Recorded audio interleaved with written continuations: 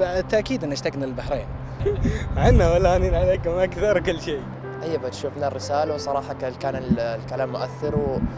وإن شاء الله نتمنى بأقرب فرصة ونتبادل نفس الشعور أقرب فرصة راح نزورهم. وهذا شيء غير مستغرب سواء في العلاقات عند الأشقاء في البحرين أو بين وهذا شعور متبادل بين السعوديين وبين البحرينيين.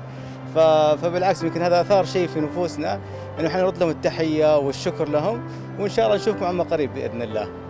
شفت الآراء من إخواننا في الشعب البحريني وحنا والبحرين المملكة العربية السعودية جزء لا يتجزأ من بعضه. مقطع مؤثر جدا روح الاخوه وهم اشتاقوا لنا وحنا اشتاقنا للبحرين أكثر. مع الأزمة هذه انقطعنا عن البحرين وانقطعنا عن زيارتهم وعن اصدقائنا وربعنا اللي هناك. والله حنا والهانين عليكم والهانين على أكلكم والهانين على الحلوى ومشتاقين لأمور كثيرة وكبيرة في البحرين.